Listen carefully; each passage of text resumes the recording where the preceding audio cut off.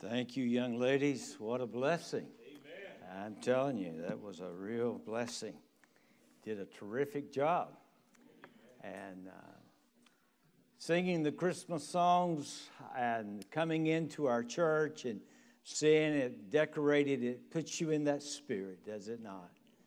That Christ has been born and that he is the Savior of the world. We certainly want to thank Miss Boots and all the ladies that helped in decorating our church, and uh, we are grateful for that. I know it takes a lot of work, but I appreciate that. Take your Bibles. Yes, let's give them a hand. Let's give them a hand. Uh, turn with me in your Bibles, 1 Peter chapter 3, as we're continuing our study and our journey through 1 Peter. And uh, next Sunday and next couple Sundays, we're going to take a break from First Peter and begin focusing upon the Christmas story. But today we're going to look at some very unusual passage of scriptures. Passage of scriptures that maybe that has been very hard to understand and hard to interpret. And we're going to look at this. Everybody knows about the the crucifixion. I mean, as we talk about uh, coming into the house of the Lord, we've talked about the crucifixion of the Lord Jesus Christ. And then, of course, Easter, that blessed, glorious day, we talk about the resurrection of the Lord Jesus Christ.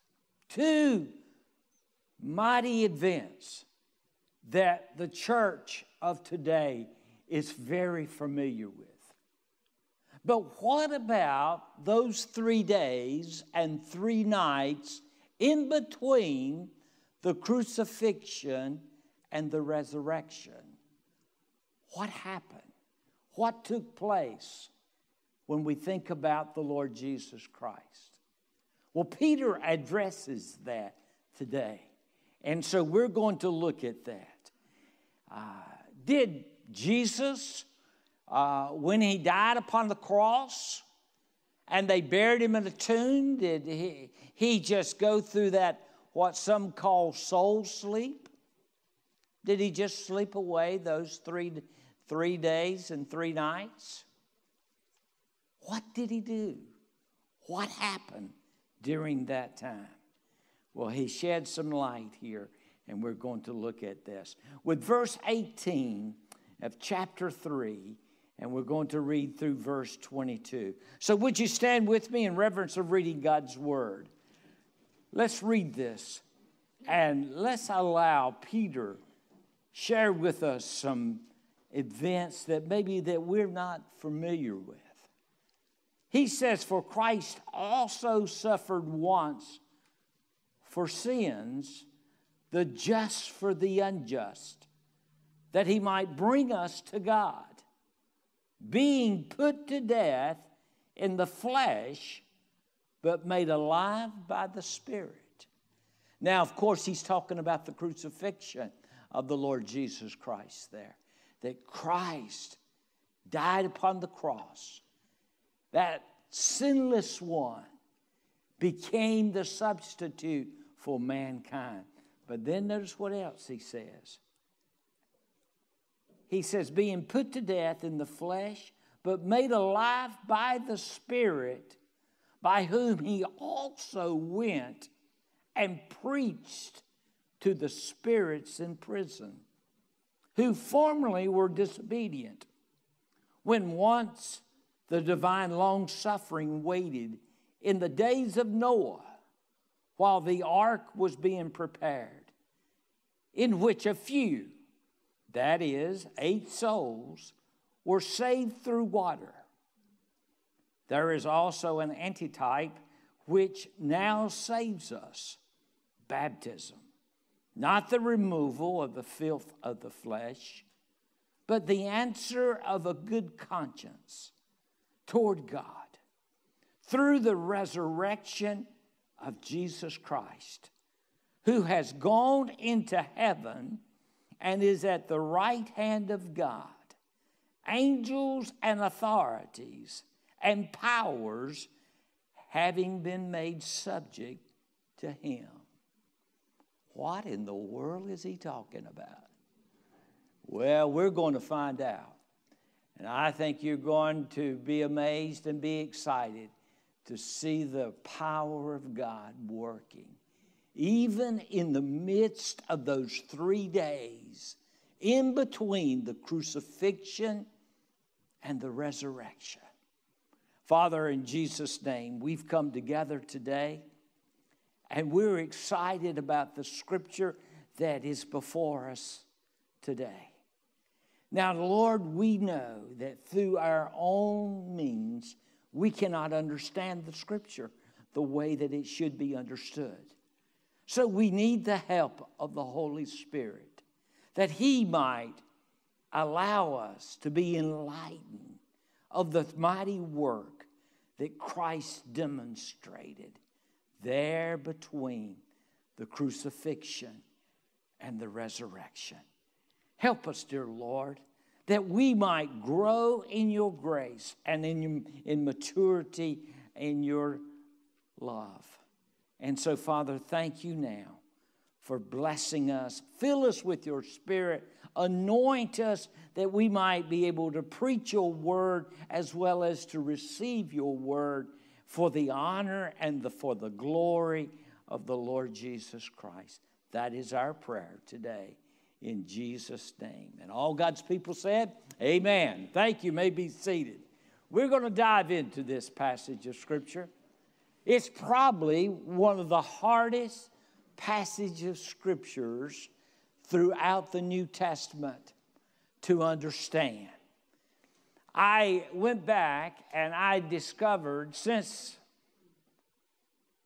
the very first century, there have been 90 different great theologians have ciphered and exegeted this passage of scripture, and they all were different from one another. I went back and I looked at some of the commentaries that I have. Great, great commentaries. And it seems like many of them differ from one from the other. And so I had to ask myself the question well, what does the scriptures teaching us? See, I believe that in order to, to understand the scripture, that you read the scripture and that the scripture will explain itself. And that's what I want us to do. I'm reminded, of course, of what Martin Luther said about this passage of Scripture. Listen to what he said. He said, This is a, a strange text and certainly a more obscure passage than any other passage in the New Testament. Yes, it is a strange passage of Scripture, but we're going to dive into it, and by the help of the Holy Spirit, we're going to discover, I believe, some wonderful truths of the work of Christ in between the crucifixion and the resurrection. First of all, you go back and look at verse 18. As I've already pointed out, he is talking about the cross. Now, one of the things that you'll discover through this passage of Scripture that Jesus is the conqueror. He is the one that had won the battle. And he is sharing with us today of how he won that battle. He won the battle at the cross. He won the battle between uh, the, the cross and the resurrection, and he won the battle as well as the resurrection and the ascension. So, friend, if you know Jesus Christ, you're on the winning side. Amen. And isn't that exciting? And I don't know of anything that should prepare us and help us to be prepared for the Christmas season than to understand that very thing. Let's look at verse 18 for a moment as we think about He conquered the cross. He conquered the cross. The Bible says in the opening statement in verse 18, He said, For Christ also hath once suffered for sins, the just for the unjust, that He might bring us to God. a clear reference to the cross of the Lord Jesus Christ. Now, why did he go to the cross? Well, the Bible reminds us immediately that man is sinful, that we are born as a sinner. We're by nature a sinner, and that therefore sin had to be dealt with. Man, no way is righteous. There's only been one that is righteous, and that is the Lord Jesus Christ. There's only been one that is just, and that is the Lord Jesus Christ. Every single one of us are what is known as unjust and as sinners. My friend, I want you to understand whether I don't care how well you live, I don't care how honest you are. I don't care whether you pay your taxes and your tithes and all those kinds of things. My friend, you're a sinner. I am a sinner. I mean, friend, all you've got to do is look around and investigate and to begin to see of the times of mistakes in your life. It didn't take me very long when I came to know the Lord Jesus Christ to come and make that confession that I am lost because of my sins. I am a sinner. And there's one that is known as Jesus Christ as the one that had never sinned. Right. And that he was above sin. And so, therefore, we see that he has come to save man from his sins. The responsibility of God is to remind us that we are sinners. That's what the Holy Spirit of God does in the life of an individual. When God confronts him with salvation, the very first thing he does, he confronts him with the bad news. And the bad news is that you're lost, and the Bible says that the wages of sin is death. And so, therefore, that's why some people don't want to admit that they're sinners. Some people don't want to say, Well, I believe I'm a sinner, but uh, I'm not going to do anything about it. A lot of people just go to the point of saying, I'm a good person. I'm a good husband. I'm a good father. I'm a good citizen. I'm a good neighbor. I'm, I'm this, I'm this, I'm this. All that might be true. But my friend, the Bible says that we are sinners. Now, we got a problem here. If we're sinners and God is holy, which He is, what do we do with the sin? Does He just overlook sin? Does He wink at sin? By His own character, He has to judge sin. That's, why when you come to a point and a plan, a, a, a time where a man is approaching this thing called death, you become very serious about looking at your life. Because the Bible says it's appointed unto man once to die, and then comes judgment. I mean, you stop and you think about it. You take your little children, take a little baby, as innocent and pure as a little baby. You don't have to teach that little baby to do wrong. You have to teach him to do what's right. right. It comes natural to do wrong. You mean to tell me that little baby is a sinner? Absolutely. As he gets older, he will lie to you. He will do things that you would have never imagined. Why? Because he is a sinner. He's born as a sinner. The Bible says in Psalms 51, verse 5, that you were conceived in iniquity. You've been brought forth in iniquity. And so a child does just what's natural, and that is that he is a sinner. God is holy. You say, now, wait a minute, God is love. Well, you're exactly right.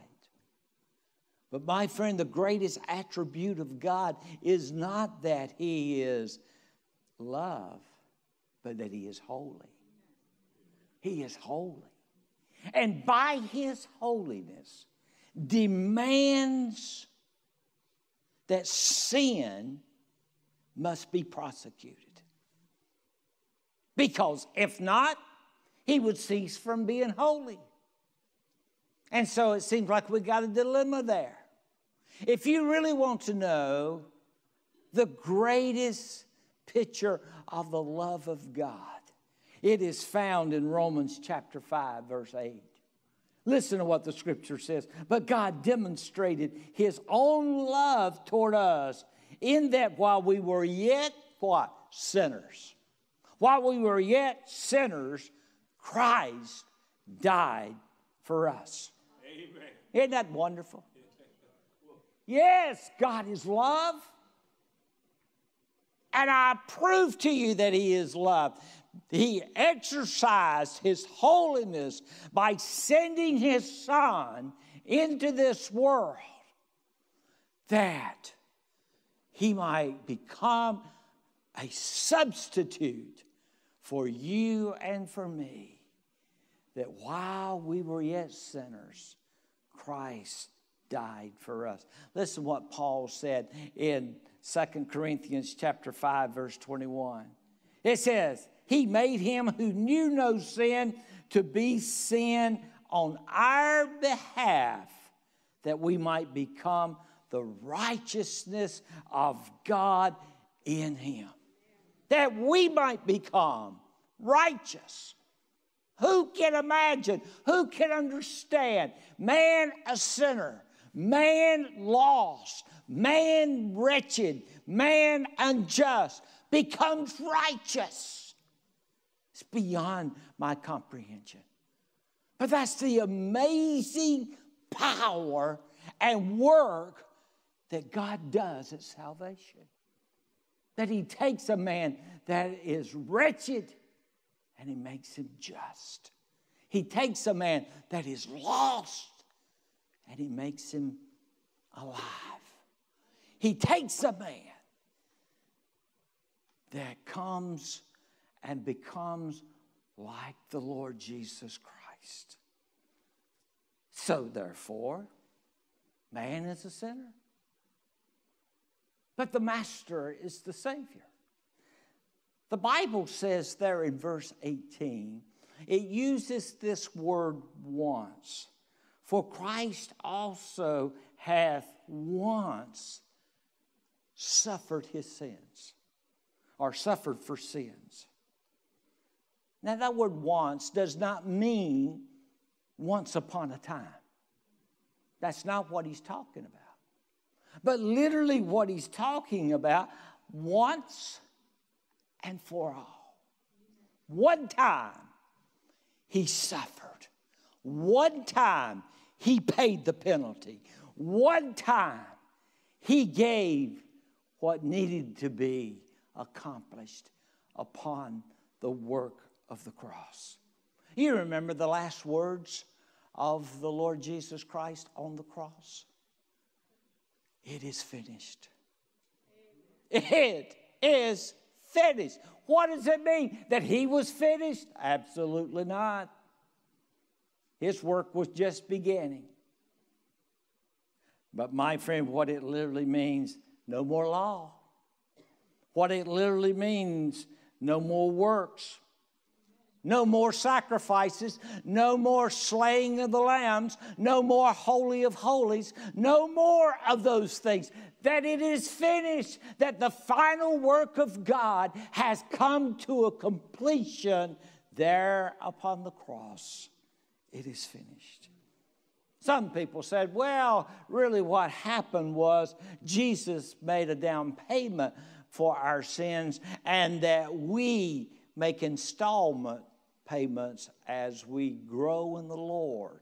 That we that we live good, we go to church, we be baptized, we do all these kinds of things, and we're making installments toward our salvation. Nothing could be further from the truth, my friend. But when Christ paid the price upon the cross, it, it, it was finished and nothing else can be added or taken away. Amen. I want to give you a passage of scripture.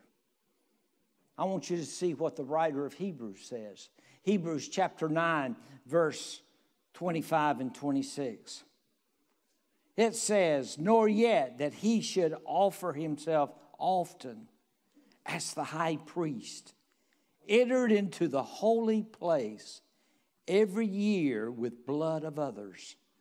But then must he often have suffered since the foundation of the world. But now, once in the end of the world, hath he appeared to put away sin by the sacrifice of himself. Once put away the sins. And therefore, my friend, the object of the death of the Lord Jesus Christ was to bring you and me to a relationship to a holy God. That God so loved us that He sent His Son that He could have a relationship with you, an intimate relationship, a relationship where He walks with you and talks with you, a relationship where He will never leave you or forsake you, a relationship that He will be with you forever and ever and ever. That's the kind of relationship He wanted to have with you. Some people say, well, you know, there's many ways to God. It's just like going to the airport and there's many different flights that will take you to New York. You just determine which flight you want to take. They all those flights that go to New York, they may go in different directions, but eventually they'll get to New York. My friend, you don't understand what the scripture teaches us. All religions are not the same except one. When I think about only one, the Lord Jesus Christ, I think about all these religions will send you to straight hell.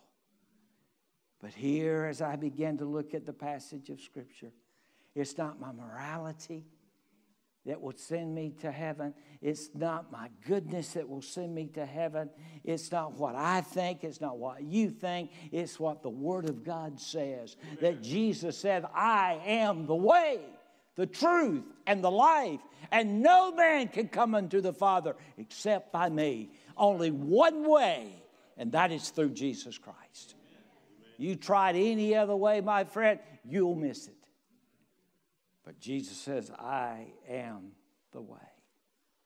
I was reading a story not too long ago. I love to read about D.L. Moody. What a great, great man of God he was. D.L. Moody was preaching at this place, and when he preached, crowds came from everywhere. And sometimes when he preached, that the crowds were so large they had to give out tickets in order to be able to accommodate the people in the uh, auditorium. D.L. Moody walked out of a room, and there stood a little boy. little boy had heard a lot about D.L. Moody. He didn't know D.L. Moody, but he'd heard a lot about him. And the little boy was crying. And D.L. Moody said, Son, why are you crying? He said, I want to see and hear Mr. Moody, and I don't have a ticket. And they tell me that I can't get, get in there without a ticket. Well, back then, preachers wore these suits that had long tails. And so D.L. Moody looked at the little boy and kind of grinned. He said, I tell you what you do, son. You see that coattail? You grab a hold of it. And when I walk through that door, you hang on as tight as you can. And he said, I'll get you in there. And about that time, the doors opened. Here walked D.L. Moody into that auditorium. And there was that little boy holding on those coattails as tight as he could. And the ushers looked at him And he said, Welcome, son, come on in. When I read that story, I thought, you know what? I'm so glad I've got a hold of the Lord Jesus Christ's Amen. coattail. And through his coattail, I have been welcomed into the family of God. And into the kingdom. No other way. No other way. So he talked about the crucifixion here and how uh, important that event took place. But let's go a step further. Let's look at verse 19 just for a second. He not only conquered the cross, but he conquered the grave. The Bible says there in verse 19, listen to what it says by whom also he went and preached to the spirits in prison. When Jesus died on the cross, they took his body off that cross and they put him in a barred tomb. And for three days and three nights, Jesus' body was within that tomb. What happened during that time? Did he just, his body just lay there? His spirit just lay there? Well, the Bible tells us here, by whom also he went and preached to the spirits in prison. First of all, I want you to notice that this does not teach that you have a second chance after you die. Does not mean you can get saved after you have died. Friend, if you're not saved before you die, you're not going to be saved after you died. Amen. The doctrine of the second chance, there's no such thing. Hebrews chapter 9, verse 27 it's been appointed unto man once to die, and then comes judgment. Comes judgment. See, you're going to die at least one time. If you don't know the Lord Jesus Christ, you're going to die twice. You will die physically and you will die spiritually. If you know the Lord Jesus Christ, you've been born twice. You've been born physically and you've been born spiritually, but you'll only die once physically. And the Bible says that you will then face judgment. In other words, when one dies,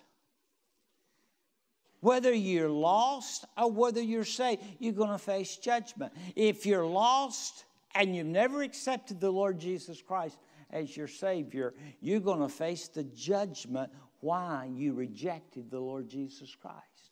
You're going to have to give an account of why you rejected the Lord Jesus Christ. And friend, I want you to notice the sentencing of that rejection is, is eternal hell. But if you're saved, you will also face a judgment. Oh, you won't face the judgment of hell or of that nature, but you will be faced with the judgment of service. There will be a time where you will stand at the judgment seat of Christ. And there you will stand and give an account for what you did in this body, in this life, while you were a Christian. You'll give account of your faithfulness or your unfaithfulness. So, but there will be a judgment. The Bible says in 2 Peter chapter 2 verse 4. It says for if God did not spare the angels who sinned, but cast them down to hell and delivered them into the chain of darkness to be reserved for judgment. See, friend, this passage of Scripture is not teaching as Jesus went down and evangelized those angels. He didn't go down to evangelize those angels because they're mortal beings, they're eternal. They cannot be saved or lost. So he did not do that. This passage of Scripture is teaching us two things. First of all, whom is the Lord preaching to during this time? And not only whom is he preaching to, but also what is he preaching? Back at the beginning of time, there were angels, corrupted angels that God cast out of heaven. And because of their demonic spirits, He cast them into hell. And they have been chained there ever since. And so when Jesus died, and between the crucifixion and between the resurrection. His spirit, with the help of the Holy Spirit, went down into the chambers of that eternal hell and he preached and he proclaimed the word to these demons. Now, what did he preach? What did he preach? I tell you exactly what he preached. And I believe it with all my heart. He preached victory. See, what happened was life and death was confronted in a battle. And life conquered death. And so, what Jesus proclaimed, as the Bible talks about proclamation, it says it does one of two things it evangelizes, or it's a herald, or it's an announcement of something. Jesus gave the announcement I won. The victory has been taken place. I have conquered death. I have conquered hell. I have conquered the grave. And not a one could reject that.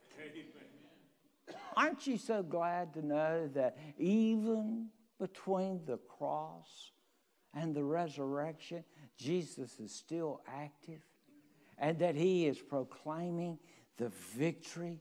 Listen to Jude chapter 6, I mean, verse 6. I think this uh, sums it up. Chapter 1, verse 6. And the angels who did not keep their proper domain, but left their own abode, he had reserved an everlasting chains unto darkness for the judgment of the great day. So it proves that who was there and what was being demonstrated. He made the announcement of victory. He proclaimed victory. Colossians chapter 2, verse 15 says, When he had disarmed the rulers and authorities, he made a public display of them, having triumphed over them through him. Paul said in Philippians chapter 2, verse 10, that at the name of Jesus, every knee shall bow of those who are in heaven and on earth and under the earth. Every knee, even the demons of hell, will bow before the Lord Jesus Christ and will announce and will recognize and will salute him as the King of Kings and the Lord of Lords because of his conquering power. He conquered the grave. And therefore, my friend, when he went down into the very pits of hell, he came forth with the keys of victory, the Bible proclaims. I have overcome this world and overcome sin and overcome the devil and overcome the grave, overcome death. Whatever your enemy is, my friend, I want you to know Jesus Christ is the conqueror and He has conquered those enemies. And I am so grateful and thankful to know that I'm on the winning side. Amen. That teaches me that I don't, I don't fight for victory, I fight from victory. The victory's already been won. Amen. And so, therefore, and then you'll notice the manner of salvation. The Bible says in verse 20, who formerly were disobedient, when once divine long suffering waited in the days of Noah, while the ark was being prepared, in which a few, that is, eight souls were saved through water. Many of our friends from other denominations says, aha, that proves it right there that you're saved by baptism. My friend, that's not what the scripture's teaching. You've got to read the whole context of the scripture there, not just take part of that verse out of its context. Very plain that Peter is using an illustration, two types of illustration of baptism. Baptism does not save you. I want you to understand that. You can be baptized in every lake, and every tadpole in the world can know your social security number and still die and go to hell. Friend, baptism will not save you. It's important. Baptism that Peter makes reference to of two things. He makes reference to Noah and the ark. See, the water did the water was a symbol of judgment. The ark was a symbol of Jesus Christ. And you were saved from the judgment, the wrath of God. And then, of course, the resurrection is one of the best pictures of what baptism means. That as you enter into that water, that water is a picture of a grave.